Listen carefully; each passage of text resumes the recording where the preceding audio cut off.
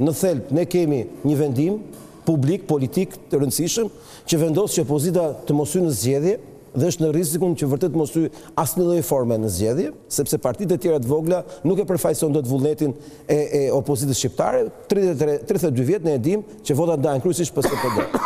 Natyrisht që kjo nuk është monopol, ka dhe të tjerë, po kjo është ndarja. Edi Rama ia doli të nxjerrë jashtë ligjit Partinë Demokratike, Unë do të kujtoj që nga ana tjetër Sali Berisha mban përgjegjësi të plotë, që ka hyrë në gjithë këtë histori prej një viti, me planin B pa plan A dhe pa plan C dhe pa asnjë plan tjetër, me një grup dështakësh që kanë shkuar nga faza në fazë, duke e lënë këtë gjyq të bëhet katër ditë para zgjedhjeve, sepse kishin kohë ta çonin në Gjykatë Kushtetuese dhe ta fitonin, sepse vendimet e gabuara ligjore që ka marrë sistemi i drejtësisë, që në fakt kanë qenë të urdhëruara nga Edi Rama dhe Yuri Kim, kanë harruar thelbin kryesor të çdo ligji, sidomos ligji për partitë politike. që është fryma e ligjit, fryma kushtetuese. Part, ligji i partive nuk është punë vulash, ligji bazohet te kushtetuta te e drejta e shqiptarëve për t'u përfaqësuar në demokraci. Dhe askush nga avokatët e PD-s nuk ka ndërtuar narrativën e frymës së ligjit që ishte fituese për të fituar të drejtën opozita për për të pas mos pas pengesa në Komisionin Qendror Zgjedhor.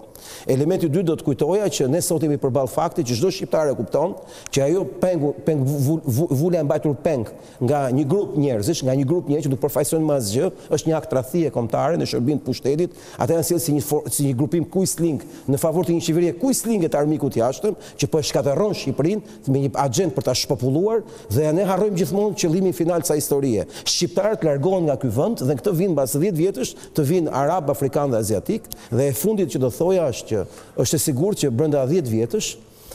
qeveria amerikane Departamenti i Shtetit, Senati amerikan, Kongresi amerikan, në një formë apo në një tjetër, do t'i kërkojnë ndjesë publike popullit shqiptar, që në njëqind vjet luajti një rol në favor të zhdukjes së opozitës nga Shqipëria, njësoj si në vitin një mijë e nëntëqind e dyzet e gjashtë. Ju faleminderit.